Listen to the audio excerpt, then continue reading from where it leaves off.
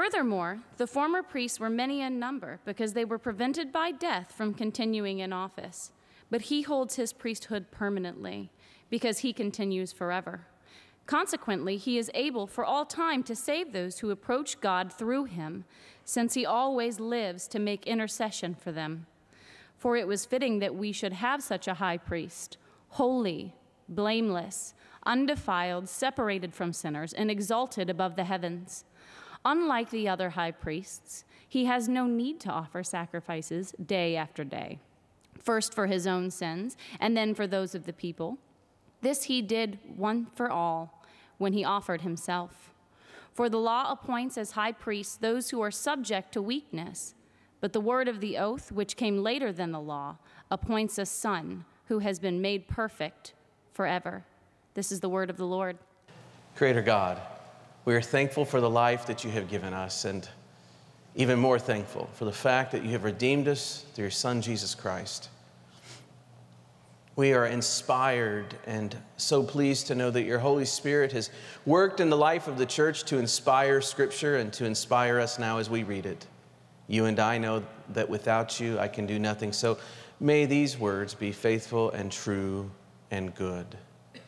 Help us to take them and put them into our hearts so that our stories and our lives may be forever changed. In the name of your Son, Jesus Christ, who lives and reigns with you and the Holy Spirit, one God, now and forever. Amen. One of my very best friends back home is the consummate carnivore. He loves to eat steak more than most people. In fact, every time we have a time of celebration, he says, Let's get some steak. Sometimes it takes the shape of grilling in the backyard together, but oftentimes he calls the community together for a trip to Alexander's Steakhouse. We were in seminary together, and at the end of every semester, he made it customary to call a group of about 30 folks to Alexander's. It's not just a steak place where you order steak, it's a steak place that you cook your own steak in. There's these big freezers with thick cuts of meat just scattered about, and huge grills that men like to go up and stand around with beer in the hand and steak on the grill and a baked potato going. Oh, oh, oh. That's what you do. You start barking like dogs when you're up there, salivating over the steak. He was the most meticulous, surgical cutter of a steak I've ever seen. He used to get down in the nitty gritty, and at the end of his steak eating session, there would be nothing left on the plate except for the most perfectly cleaned ribbon of fat. And there was no flesh on this fat, it was just the fatty fat part. Man, he wanted all the goodness of the yummy steak in his mouth and his belly, he just he left all that other stuff on the plate. You guys are getting hungry, aren't you? Me too. And here's the thing. That's how the church has historically functioned when it encountered cultures. As the church expanded and went as a missionary force into new places, it looked at culture and said, Well, what is good and beautiful and true of this culture? We'll take it and we'll just leave the fat, leave whatever we don't think is good and true on the side.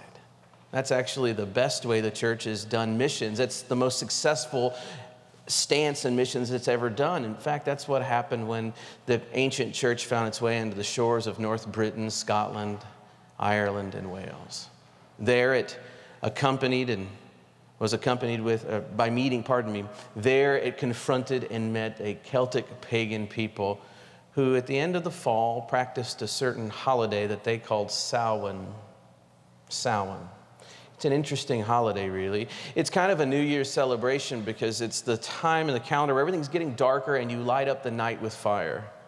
But they did so festively to celebrate their harvest. It's kind of a harvest celebration. They had a few metaphysical beliefs that shape its practice. They thought the spiritual world was, for some reason at this time, nearer and closer to the physical world. They called it a thin time or a thin space. The possibility for a spiritual agent to transgress that boundary and come into our world was quite, quite possible. And so they used to put food together and place it out in front of their homes just in case one of their long lost relatives who lives in the spirit world does transgress and finds themselves back into this mortal coil and a bit hungry. Trick or treat, anybody? Oh, they also were worried about the big bad villains in the spiritual world, the people who could spook them and haunt them. So they donned animal skins and animal heads to disguise themselves. It's a bit of camouflage, really. And with these, you can find a little bit of the roots of our Halloween practice right there dressing up and trick or treating. There's a whole lot more that's shaped Halloween, but it was really the ancient church as they encountered these people. They said, Well, what's good about all that festivity and practice? Well, it's kind of a Day of the Dead celebration. And you know, the church is always thinking about our life in Christ, which includes our death. And so they said, let's, let's, let's do this. Let's put a festival right there with it. And they called it All Hallows Even, or the evening before All Saints' Day. We call it Halloween. It was shortened to that phrase later. That would be a great festivity that would anticipate November 1st. And on November 1st is going to be the day that we remember all the saints. Now, not just our local saints or our patron saints. We're going to think about all the saints on that day, whether it's St. Peter, Paul, or a later saint like St. Francis of Assisi. They'll all get their due and proper on that day. And later, November 2nd became known as All Souls Day, where they would simply remember not just the heroes of faith, but everybody else who has gone before and preceded us in death. Now, culturally, there's a lot that's changed with Halloween, a lot that's been added to it, but culturally for us today, it's really a time where we take the taboo fringe of life and we put it right in the center and we put it in light and look at it for a moment. And we say, it's okay at the time to do that. It's a time when we maybe confront some of our worst fears in a way that doesn't make us ghoulish because everyone's doing it. Or it's just a time of festivity and candy religiously. Religiously, if done well through the centuries, here's what Halloween was to be about for the Christian it was to be about honoring and thinking of the dead, thinking of those who've gone before us in a manner of respect. Because you know what, friends, when you think of the saints, you're thinking about people who lived the faith well. And in so doing, you, are, you ought to be inspired to live the faith better in your own time and space. That's a very human need, isn't it? to look into the past and be inspired for today. Every time I go back to Illinois, I go to the Norfolk Cemetery and I go visit my grandfather and my grandmother's grave. Donald Frank Berkey, Gloria Berkey. I look at the dates, you know, the birth date, the death date, and then that little dash. That little dash. It's representative of entire life, of an entire story. And I think about my grandfather's story because it's shaped mine so very deeply. He's the guy you've heard me say before who drugged my whole family to church. I'm here in part because of him. Then I look at the foot of his grave and I see that plaque that's put in the earth and it says U.S. Navy World War II. I think about his heroism. My grandfather believed in the American war effort so very much, and he thought Hitler needed to be stopped so very much that he lied about his age and got in at age 16 years old. You can do that. He was an immigrant, he didn't have papers. Well, he was in the Navy, and I used to ask him as a little boy, I sat on his lap, I said, Grandpa, did you ever have to kill anybody? It's a ghoulish question children like to ask. He used to say, Nope, never had to. I really didn't know what he did in the war until later on in life when I collected a, a box of his photos and dug through them. There's a a box here, or a picture here of him sitting in the hull of the boat, I think, with a few other guys and his crew peeling potatoes. And there's a mound of potatoes next to him. He's just smiling, peeling potatoes. The next picture was him on an island in Hawaii, standing next to a very beautiful Hawaiian woman with a lei around his neck, and he's smiling huge. The next picture, potatoes. The next picture, him and a few buddies in front of the Acropolis in Greece. Next picture, potatoes. Next picture, him in front of the Colosseum. Oh, he traveled the world. He loved his time there. It doesn't change the fact that he was heroically interested in getting in and doing something for his country. And I think about him often, and I think, do I live a life of such noble service? Well, that's what Halloween's about. It's the reason that Colleen and I have had Halloween parties every year that we've been married We like it all. We like the kitschiness of the thing. If you come to our house now, you'll see happy ghosts in the lawn. They're happy. I've got children, I'm not a bad parent. I've got spider webs all over the kitchen, and they're the fake kind. They're not, we're clean, okay? They're the fake kind of spider webs. And We got all that kind of stuff. But we like the spooky things. I, I like to watch those Universal Studio films, you know, Dracula and the Bride of Frankenstein. But we like the harvest festival aspect too. And so we have like a Thanksgiving dinner. It's our hope to do that every Halloween, bring in a turkey and everything. Oh, we like the revelry. We have fires and friends, but we really like this religious aspect of it. And so at every one of those parties, we like to raise a glass and say, To those who've gone before us, and pause momentarily to think on their lives. It was at our very first Halloween party that my friend, the meticulous steak eater, he raised his glass first and he said, To my mom. You see, she died when he was 15 years old, but she was a saintly woman. His faith was built on hers. And he said, To my mom, who always reminded me of who I am and whose I am. Friends, this is a deep, interesting thing for people to do. Look back on the past and be inspired by people who lived so well. Who else do I reflect on? Well, I often reflect on the Reverend Harrison Wallace. He was from the South, but he lived in Illinois, so he had a folksy nature to him, liked to go by Brother Wallace. First preacher I ever knew. Preacher in that church for 30 years. I watched him preach even when he was going through dialysis. Took it out of him, but he did everything he could to keep serving the church.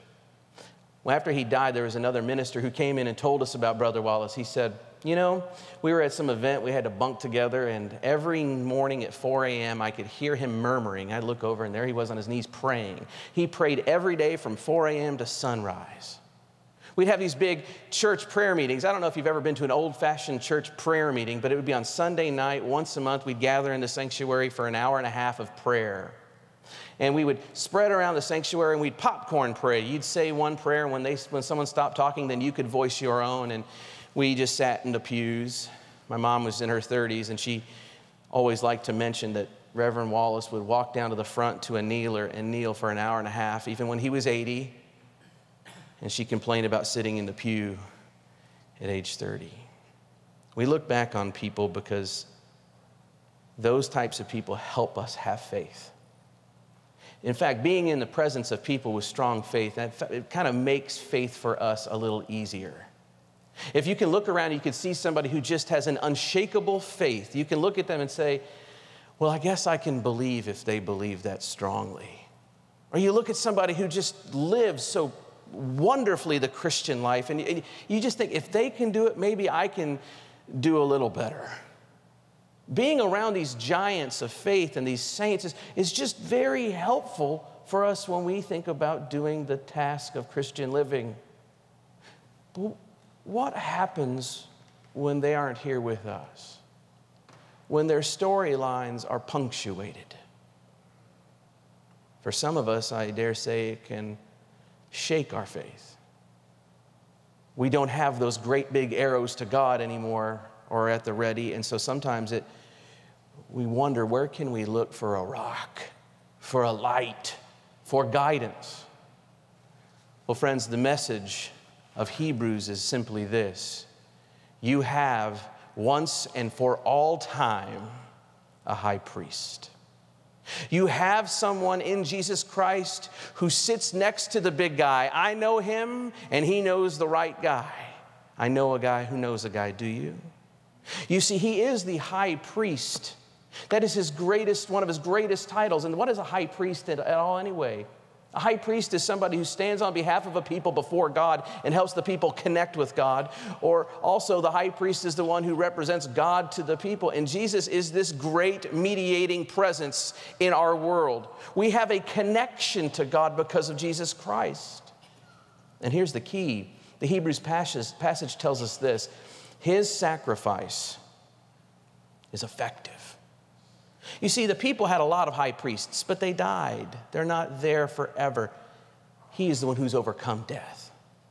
The people in the Old Testament used to have to do sacrifices early and often, like Chicago people vote. You just had to keep doing them early and often, uh, go on and on and on, just to make sure that you were finding your path to God, if you will. Right up until the time of Jesus Christ, and still sometimes people still do this. They try to do anything they can to find a pathway to God. But Hebrews tells us this instead of doing more and more sacrifices ad hoc, Jesus died himself as a sacrifice once and for all. It is effective. When I first came to Peachtree Christian Church, I was really blown away by the illustrations on the wall talking about this Heritage Fund business. And I, I asked about it. I said, What's this Heritage Fund about? And I said, Well, you know, and they said in times past, we, if we had a need in the church to fix a window or a heating system, we used to just tap on people's shoulders and say, Hey, we need a little extra help. Can we make this happen. And, and so things were done rather ad hoc that way. But there's some visionary leadership at this church who said, no, no, no, let's develop a fund that will settle the issue for good, a fund that will sustain itself, that if there's ever a need in this physical space, well, it will take care of it. It's a small analogy, friends, but it's an analogy of an infinite and eternal notion that the pathway to God has been done and paved by Christ once and for all, and it's for you. That's not all, though. It's not just that He's some heavenly sacrifice that kind of clears a debt or something like that. It's more. It's that the high priest Christ is always perpetually there for you, too. I was watching UGA football a week and a day ago. It was an awful game. It was awful. UGA couldn't score. Missouri couldn't score. It was just a bunch of field goals, really. Sloppy, sloppy offensive football. The kicker for UGA blew it. He blew a kick. Have you ever choked in front of a lot of people? When you do, it's like you can feel everyone's eyes staring at your backside. You can just feel it. it gives me the wiggles. Oh, especially when you're a kicker. Blowing it's tough because like that's your job. You kick the ball and then you go and you wait till the next time you kick the ball.